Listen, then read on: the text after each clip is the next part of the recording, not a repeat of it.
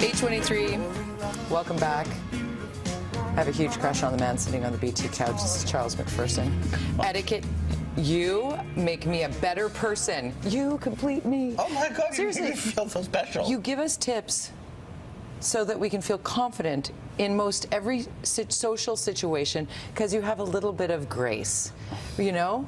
But you know what's so important about confidence, if, since you're talking about that, is that confidence attracts people to you. When you're self-confident, A, you feel good about yourself, but other people who are perhaps a little bit insecure or not so confident are attracted to you because of that strength. Well, that's what's going on here because uh, your confidence, because you are so, well, world renowned for knowing etiquette inside and out. The pocket butler is a must pick up, by the way, for somebody who may need a little help with brushing up on their etiquette. I want to learn about wedding etiquette today Okay. because I. I'm sort of non-traditional, and I'd like to know what the actual rules are. What do you think is the biggest wedding mistake, whether made by the bride and groom on invites or by guests attending? I think it has to come. The, the biggest thing is this whole thing about the present and the money and how much people should spend. Okay. I think that's the number one. That's the one I get the questions on the most. Tell us. And so, first and foremost, I strictly believe that you should never spend more than what you can afford. You should not put yourself in debt to buy someone a present. And I think that the person who's inviting you should understand that that you may not have the means. So if you're going to have a wedding at the most expensive location in town, that's great, but you can't expect them to pay for their meal. You're inviting them because you want them to be there, not because you want the present. Right. And if you have a destination wedding, are you still required to bring a present when you've already made the trip to Mexico? Because it's expensive. You- so you're, you're flying and all that kind of stuff. So usually the trip is the present, Okay. is showing up as the present. Is cash gauche? It's not because a lot of people they want things that helps them pay for the wedding, or they, they put it towards something like you know their honeymoon or whatever.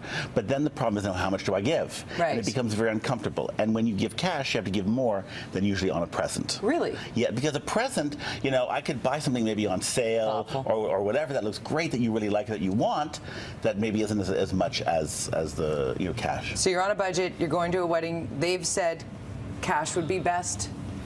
How much is the minimum? So I think, uh, and it comes back to, I really believe it's what you can afford. Okay. If you can only afford forty or fifty dollars, Great. that's okay. You should not be ashamed of it. No. So don't go into debt to Exactly. give a gift. I- makes I a firmly believe that. Okay, so now you're planning your wedding and it's only 50 people. You've got 25 friends that you must have there. Do you have to give everybody a plus one or can you invite 50 people that you want at your wedding? So you get to do what you want. So you, because you're the hostess, so you invite who you want, or whom you want, I should really say. Hmm. So, um, so if you, if it's not a plus one, if it's just if you write just Charles Macpherson on the invitation, and if I reply to you, Charles plus one.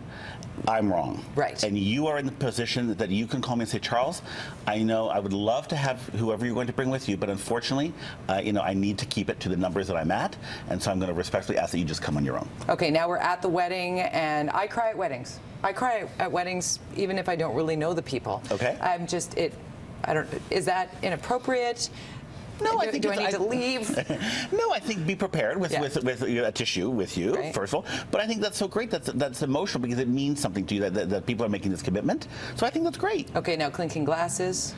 Technically, you're not supposed to anymore. Okay. Do you know why you used to clink glasses? No. So it used to be before because then if you clinked them, the liquid would, would mix in them, and so that way I knew you weren't going to poison me because we were mixing the, the, what's in our drinks together. Wow. But now it's technically not done. But if you are going to clink glasses, you don't do the top because that's where they chip. You do them on the side. Good to know. So And all the people that do the when you're clinking glasses. Oh, in the eyes. in, the, eyes, number one, but number two, technically it's considered bad luck for some who are superstitious mm-hmm. that if you clink with one person at the table, everybody. Everybody. now has to do Yes. it. Gotcha. So it's better just to lift your glass to the person And a nod. then they- without touching. Got it. Okay, so now we're at a wedding with an open bar. Yep. Does that mean we all of a sudden order 50 shooters? You know what? It's not. I think it's about not making a fool of yourself. So you know, having some shooters is great, but don't get so drunk that you that you make a fool of yourself Sloppy. and sloppy because that just is embarrassing for yourself, and then people will think of you that way. And if you're having a wedding that doesn't have an open bar, is that something you need to put in your invitation or is that something that people can recognize when they arrive? You know, that's a really great question, and I think that people, I would not necessarily write on the invitation that it that it's not an open bar, but I would whisper to people, just you know, I'm really glad that you're coming, just let you know that you know it's not going to be an open bar, just so you're kind of aware of it. But I don't think I would write that on the invitation. Okay, good to know. Charles Macpherson, our etiquette uh, specialist, who we could sit and chat about. I've got a bazillion questions for this man, but I know I can go to your website. Anytime. CharlesMacpherson.com. Check it out. We'll have you back here a million times, I hope. oh my friend. God, Thank a you. great handshake. And he was talking about my shoes earlier, so I loved him even more then. Okay, 828. We are going to take a quick break.